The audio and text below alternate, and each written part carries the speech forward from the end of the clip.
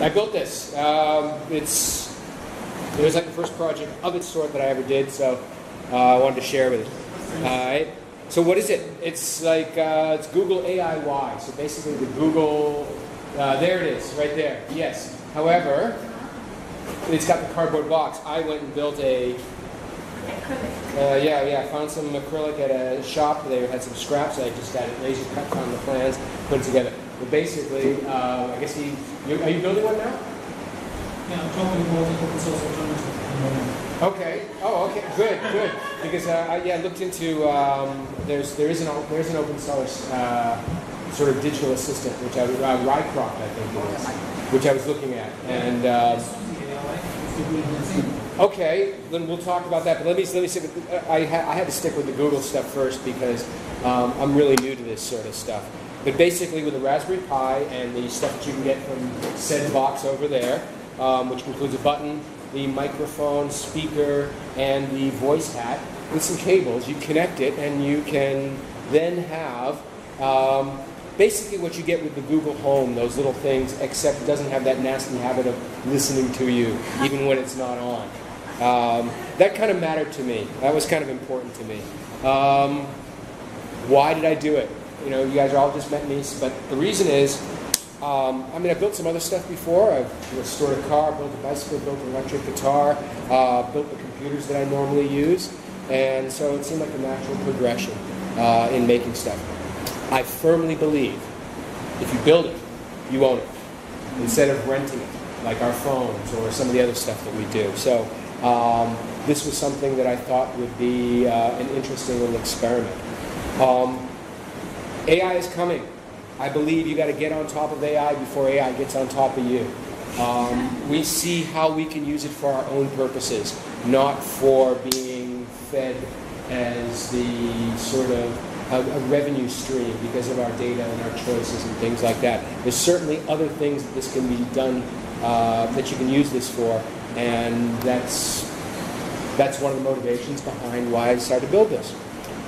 It's actually good for my business too. Um, uh, just a brief background, because I only have seven minutes.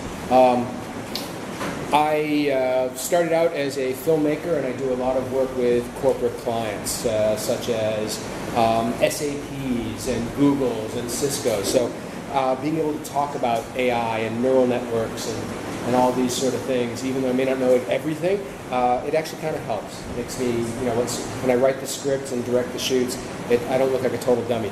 Um, I don't have to use the words like passion and all those sort of all that other um, the other jargon. Um, the other thing that I've done is I've uh, co-founded a company which has um, we've built a live streaming app, which is now out. Uh, it's on Google Play and it's in the App Store. It's been out there for since uh, the end of last year. Um, so I got into learning about coding, and that motivated me to learn how to um, start, you know, uh, working with Python. And um, kids love it. You can do something like this. It's not that hard. Uh, my son helped me with, uh, you know, like teaching it to do stuff. And basically, you know, you talk to it and it starts to learn. Um, I have an example here which I'll show you. Um, the way to do it, basically, you get the kid, like over there, uh, get a Raspberry Pi, which is here, uh, build it. Burn an SD card, which you can put in there, and it has the Raspbian app, uh, Raspbian operating system, excuse me.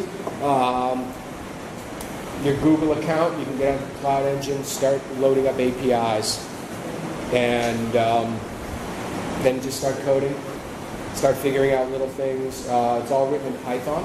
Um, so yeah, it's as easy or as hard as you want. Um, cardboard's good up to a point, but I wanted to have something, you know, the, the aesthetic uh, appeal of a clear box. It looks kind of cool. Um, and this was found online. There's both uh, 3D printable as well as uh, these laser cut designs, which you can actually get. And I just went and got some plexiglass from a store, a shop that was like some scrap. So uh, I had this cut, put it together, use a little Subaru to put things together, Velcro so the thing doesn't slide, and it's pretty solid. So when if I need to configure stuff, I can just plug into, um, I plug in a USB keyboard, USB mouse, of course the uh, power, and then also there's a slot for uh, HDMI, and that I can see it up on the screen in the Raspbian uh, Raspbian operating system, do a couple of configurations, and um, then unplug it and let it go. And then, yeah, just keep learning. So, here's how it works. This is it in action. I hope you can hear it. We hear it?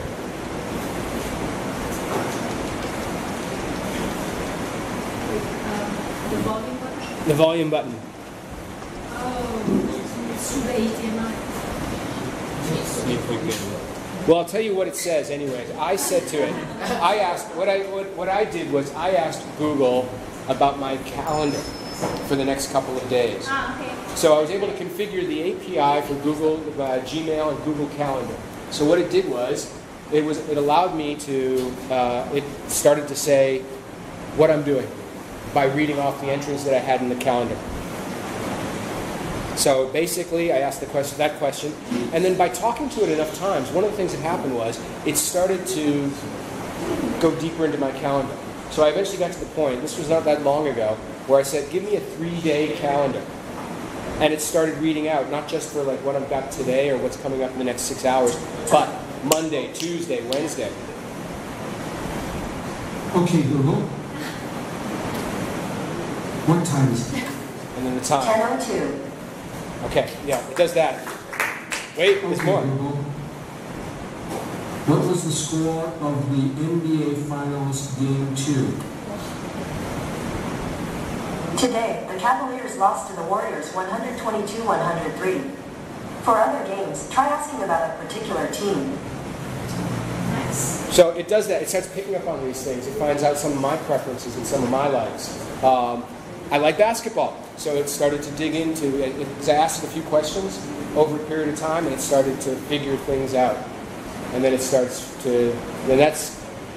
It's not creepy yet, but you know, I don't know. Maybe in the future it might be. Uh, but it, it's really interesting because it's like you know, it, you you start learning about how to learn which I think is kind of interesting. Um, and another thing that it does, you can also program a few little sort of mischievous things in there. It has these little Easter eggs buried in it. Okay, Google. What is the first rule of Fight Club? I wouldn't know. That's not something I talk about. So if you know the movie, you understand that gag. Okay, Google. Then talk like Yoda.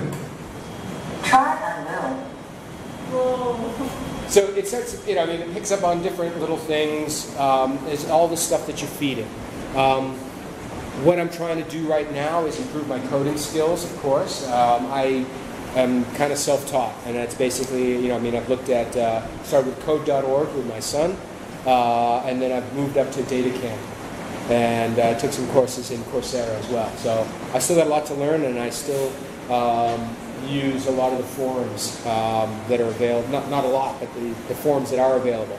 Um, I want to put in a co- uh, podcast player. I've actually been able to load up the VLC player, doing a sudo apt-get on a terminal, and from there, um, I want to be able to like you know play news if I want. So I can press in the morning and like when I wake up, okay, what's the news?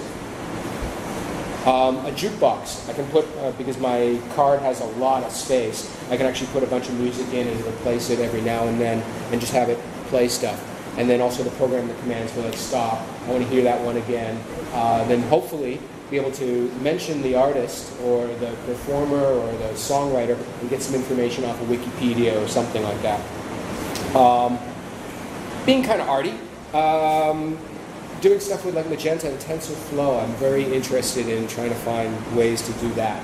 Uh, I've still got a long way to go, but I think that you know one of the things I'm presenting here is maybe find like-minded people and see what sort of stuff we can do. Um, and eventually, I guess home automation because yeah, I want to be able to snap my fingers and turn my lights on.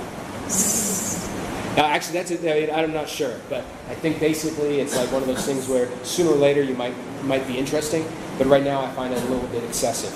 Um, to wrap it all up, this is the thing. I'll. It's a little bit delicate because I haven't glued it all together again because I'm always tweaking with it. But I'll walk around and introduce myself, and you can touch it and see it and play with it. But really, if I can build this sort of stuff, I think anyone can. Um, it's not that hard, but the coding part gets really kind of cool. And um, I would love to be able to see what other things can be done in terms of uh, different functions, different use cases, finding some new things to do. Uh, even yeah, like uh, I'm interested in finding out an open source alternative to this because I think that um, I mean I, I can I can visualize it and see it, but I you know it'd be interesting to get away from the clutches of Uncle Google sometimes. And um, that's my email address. Um, I'll be here to watch the presentations and love to meet some more people. And um, time's up. Thank you very much.